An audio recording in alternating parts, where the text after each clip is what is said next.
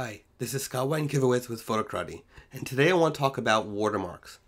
More specifically, watermarks in NextGen Gallery and when you start seeing more than one watermark on an image. Here's what happens.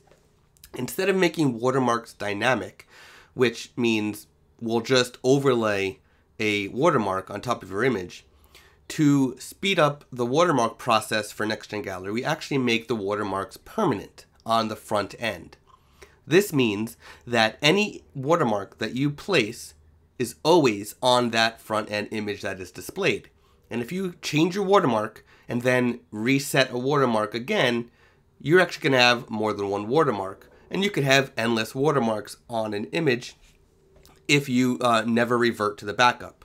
So what do I mean by the backup? So basically, if you go to other options and you go down here to back up the original images, by default it's turned on. What this does is it allows NextGen to back up the original image and then make a new image uh, based on whatever size that you set. You can say don't automatically resize it. So just basically copy the image from one from the backup to the uh, to the new to the front end image or you can turn it on to resize it and select whatever size you want to resize to. Um, so as long as you have backup the original files turned on, whether it's resizing or not, then uh, your front end image, you can always revert to the backup image and remove that watermark. So I just created a watermark and I'm going to save the watermark and then go to the uh, bulk actions. I want to add the um, the watermark to this one gallery, set watermark and hit apply and it's going to go ahead and do that. I'm going to pause the video while this is going.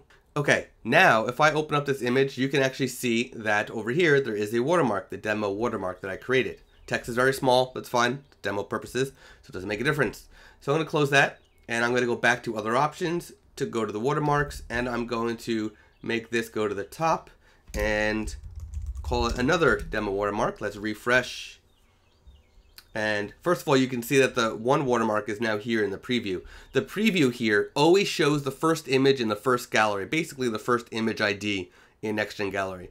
Um, so yeah, you can see here another demo watermark, and I'm actually going to make the font size even bigger, and I'll change the color slightly to this blue. Oops, let's go to this blue over here, and then I'll hit save and then go back to manage galleries, check off this gallery and set watermark once more.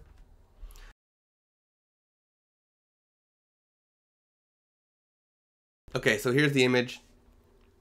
And you can see that's got two watermarks. Now, if I want to revert to the original without the watermarks, because I now have two, I could then go ahead, check this off, and recover from backup.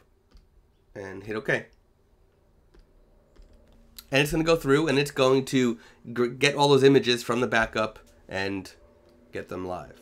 Okay, so now if I refresh this, you can see the watermarks went away. I can then go back because now I know I want the better, the the bigger watermark at the top.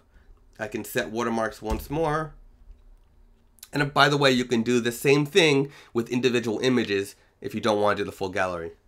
And now if I refresh this, I got the watermark back and only one of them. So there you go.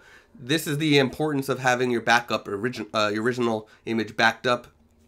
And um, there you go. Thanks for watching.